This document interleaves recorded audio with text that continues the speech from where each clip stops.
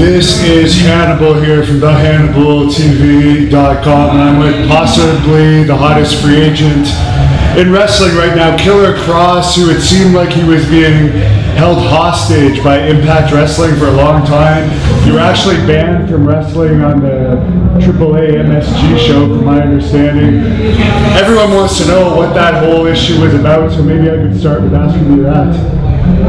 I mean, uh, quite honestly, I'm completely and totally ready to just move on from all of that. Uh, for anyone who doesn't understand the creative frame of reference, I've been in a in an unpleasant holding pattern to play as politely as I can. Uh, and uh, yeah, I just I don't have anything else to say about it. I'm very happy where I'm at. Very happy with the times and the circumstances.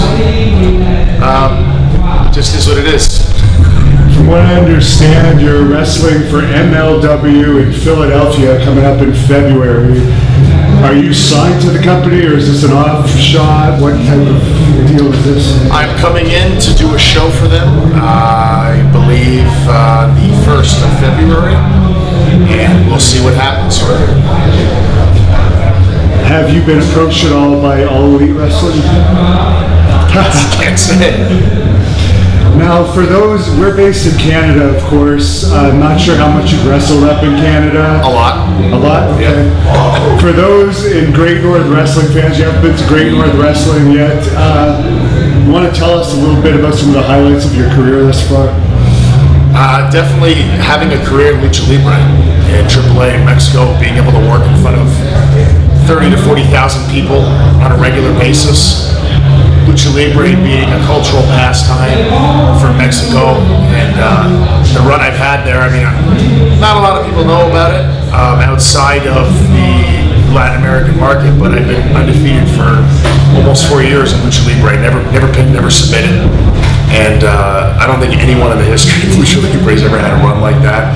It's been amazing, and uh, I have lots of highlights there. Just taking in the whole experience. Like every single time I get a chance to go out there, I'm not saying this because I think I'm supposed to say it. I mean, every time I get a, a chance to go out there, I, I come alive.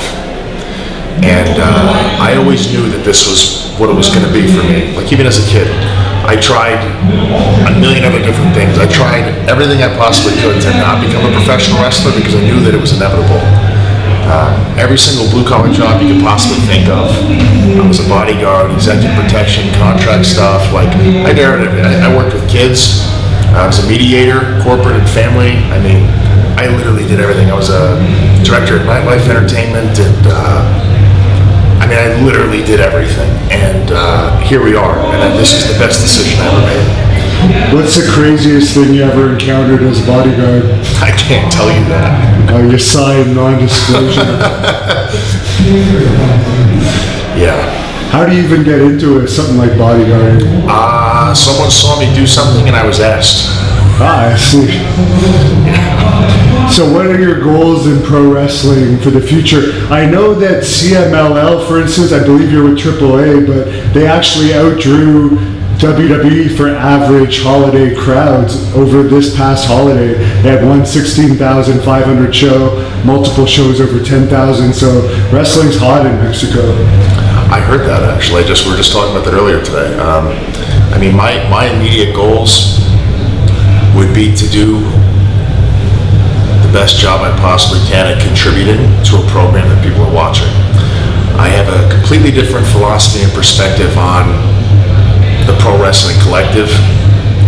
I'm just saying, me personally, I'm not telling anyone how to observe it or think about it or anything, sports entertainment, whatever you want to call it. I mean, we are, as an entirety, an industry that has an obligation and a responsibility to entertain people to the best of our abilities. And I don't really, in my mind, get involved with competing with other places or even competing with other people. I'm competitive, but I'm competitive with myself, and I'm competitive with what people want to see out of my presentation. I think that other people get twisted and they get jaded and poisoned thinking about things in other ways. This is his spot, that's her spot. The only spot that anybody has is the one that's given, and you can get a lot more out of it than you think. I think just, focusing, on self-improvement, I think, is, is sort of just a lost art. Not even in pro wrestling, I think just in general in the common era. I think that much posturing exists right now socially, and I'm getting into uh, a sociological fucking thing here. I'm sorry, but I'm answering honestly. I want to be a household name in pro wrestling, and I think the way to do that is to become the best version of myself, and that's a work in progress until I'm dead. And I'm looking forward to every step of it. Now, Violent Gentlemen's Jiu Jitsu Club is your shirt. Is that an actual club or is that a. Check it out. They have a website. It's a shameless plug. I have nothing to do with it. I'm just a fan. That's pretty cool. I watched your match tonight here in PCW Ultra versus Chris Masters. The referee didn't see it. You had a low blow. You were kind of screwed over in that match. It's over a thousand people out there. Pretty impressive for an independent show. What is your uh, opinion of your PCW Ultra experience thus far? Excellent. This is a great crew, great locker room, great production, great fans. I've been very well acquainted with the West Coast uh, professional wrestling audience for an extended period of time, working all over the United States, especially the West Coast, California, Arizona, Nevada, uh, everywhere, you name it. So it was nice to come out there, there's a lot of uh, Lucha Underground fans that are out there as well. Was nice to see them again, people that were at the live tapings, at the Underground. It's a great experience. Now, where can people follow you that are watching this if they're not already following you on social media?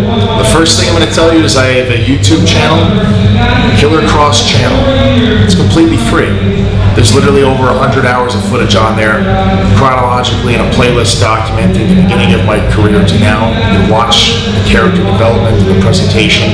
I always knew that I was going to be on television doing this. And I'm not saying that arrogantly. This was this was the goal that I had set. So everything I did from the very beginning was completely predicated on creating a character context that people could get into and watch. One day, if I appear on television and people have no idea who I am, they can go back and watch this. So please, by all means, take advantage of this completely free Killer Kross channel on YouTube, KillerKross.com, and all my social media handles are very simple across the board. Real Killer Kross. Pro wrestling tees. Get some Killer Kross shirts too. Well, thanks a lot for talking to us. It's been an honor meeting you. Any final message for the fans up in Canada? Uh, hey, thank you very much for your support. I know there's a huge cross cult following. Everybody's got the red X's up in Canada. I appreciate it. I lived in Canada for 17 and a half years on and off. I absolutely love Canada, and uh, that country was very good to me, and I felt like it made me a better person and a more well-rounded person. The whole world is living in Canada. If you don't live in Canada, you don't know that, but if you do, you know exactly what I'm talking about. You can find out everything about the world just living in that country. So nothing but great experiences, and um, yeah, thank you.